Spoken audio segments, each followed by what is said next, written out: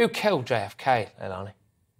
Well, absolutely, and and you know Robert uh, uh F. Kennedy Jr. just tweeted out um, that's that's the uh, nephew of of um, him tweeted out that the most courageous newscast in 60 years, the CIA's murder of my uncle, was a successful coup d'etat from which our democracy has never recovered. So that was on Tucker Carlson in America. We haven't really heard much about it in the UK here, um, but obviously, me being the so-called conspiracy theorists mm. never ever believed for a moment that the official story was right and now we're seeing a lot of evidence that you know that that it that it wasn't that there is another um, well, obviously, obviously, one of JFK's you know surviving relatives is absolutely convinced that the CIA did this, isn't he?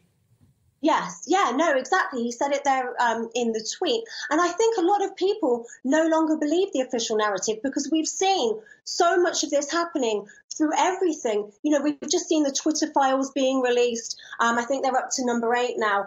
And you can see the level to which the government and the CIA, the FBI get involved with things that a lot of people would think they would never get involved with. A lot of censorship of things. Okay.